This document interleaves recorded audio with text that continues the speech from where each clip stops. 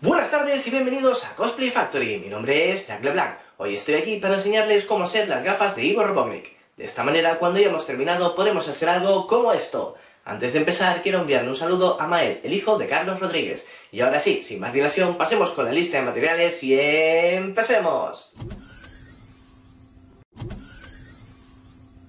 Para este tutorial necesitaremos bolígrafo, regla y cúter, esterilla, cola de contacto y un pincel, cinta de carrocero, goma eva,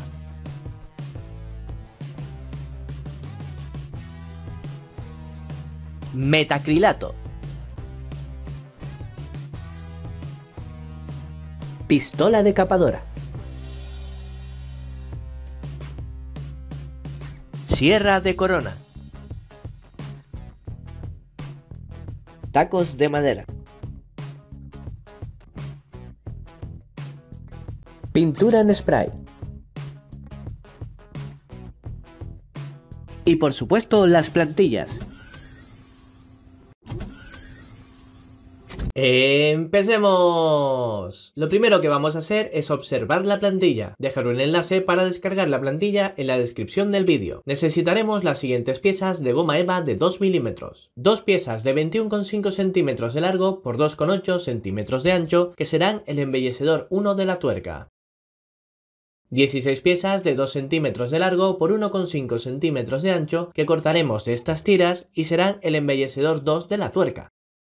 Para el visor usaremos dos pedazos de coquilla de 35 milímetros de diámetro y 3 centímetros de alto. Para la lente podemos usar metraquilato u otro material similar. Necesitaremos dos piezas de 20 milímetros de diámetro. También necesitaremos dos trozos redondos de madera del mismo diámetro que la lente y de 1,5 centímetros de altura. Con ellos haremos la sujeción del visor. Para la correa principal usaremos una tira de goma eva de 2 milímetros de al menos 55 centímetros de largo y 2 centímetros de ancho.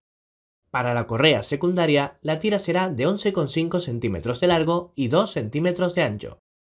Necesitaremos también de 20 a 25 piezas de 2 centímetros de largo y 1 centímetro de ancho, que cortaremos de estas tiras de goma eva de 5 milímetros. En cuanto a la tuerca, será la única pieza de la plantilla que tendremos que cortar, aunque eso sí, la cortaremos de forma superficial, ya que la usaremos para cortar su forma sobre estas piezas de esterilla.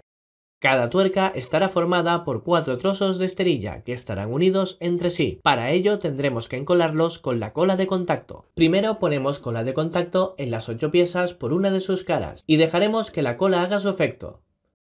Cuando ésta esté seca, las uniremos por parejas. Ahora que ya están unidas, encolaremos cada pareja por una de sus caras y esperaremos a que la cola haga su efecto. Luego las uniremos formando dos bloques, cada uno de cuatro piezas de esterilla. El color de las esterillas en sí no es importante, decidí hacerlo de esta manera porque me pareció divertido. Una vez unidas las piezas, pegaremos sobre una de estas la plantilla de la tuerca, con la ayuda de la cinta de carrocero. Luego, con un lápiz, marcamos y agujereamos el centro del círculo interno y después cortamos la tuerca por la parte exterior con la ayuda de un cúter. Una vez que lo hayamos cortado, comprobamos que el agujero está bien marcado y repetimos los mismos pasos en el otro bloque de esterilla.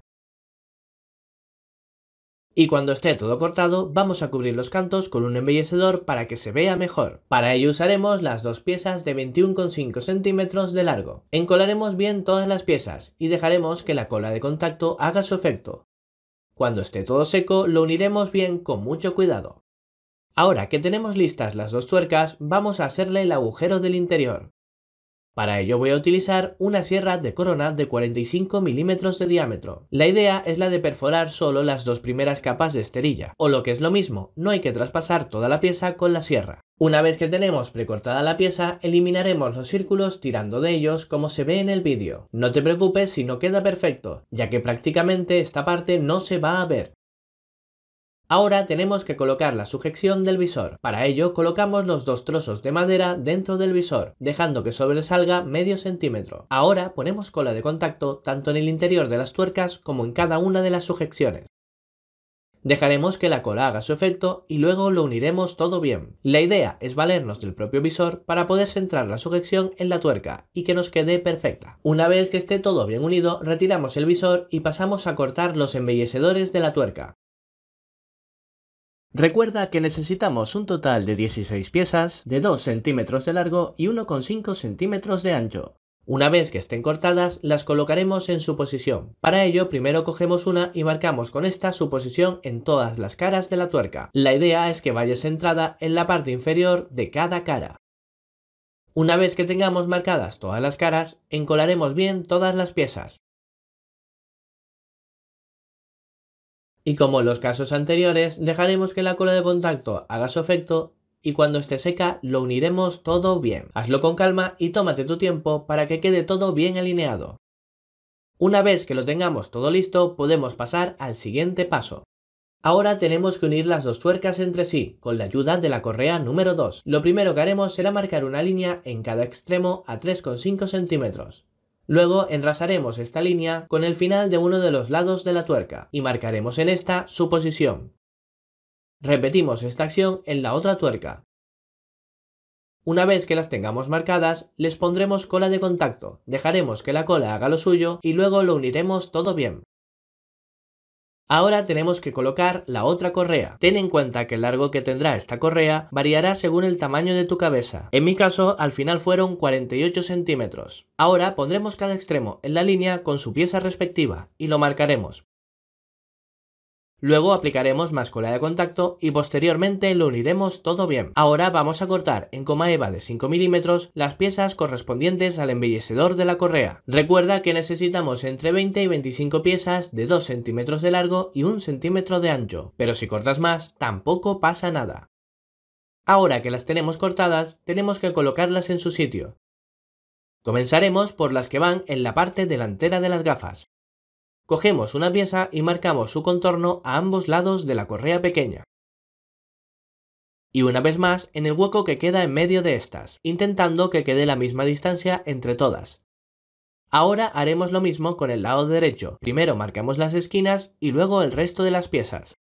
Por último, repetimos las mismas acciones en el lado izquierdo. La idea es que haya medio centímetro de separación entre cada pieza.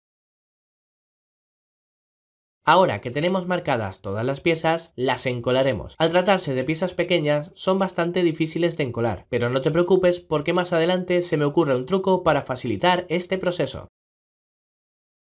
Cuando estén todas las piezas encoladas, dejaremos que la cola haga su efecto, y luego lo uniremos todo con mucho cuidado.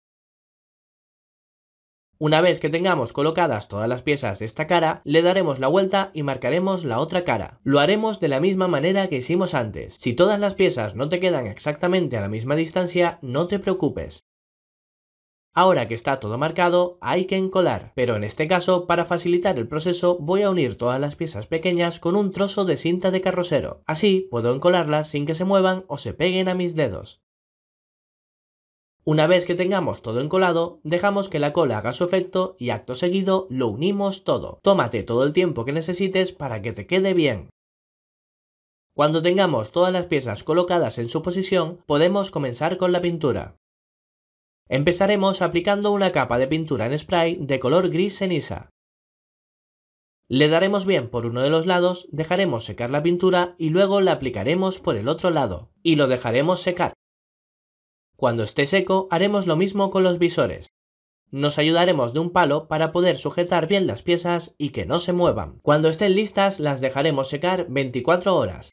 Por último, vamos a colocar las lentes en los visores. Aunque la idea original era usar dos círculos de metraquilato, me pareció más llamativo utilizar gemas de este tipo. El único problema es que no tenía del color necesario, pero no pasa nada porque para eso está la pintura. La colocación es muy sencilla, solo tenemos que introducir la gema dentro del visor. Si hubiéramos usado metacrilato u otro material similar, el proceso sería idéntico. Una vez estén las gemas en su sitio, podemos colocar los visores en su lugar. Estas piezas están preparadas para poder quitarlas y ponerlas tantas veces como sea necesario, lo cual te facilitará si quieres cambiar las lentes. Y ahora sí, podemos dar por terminadas las gafas de Ivo Robotnik.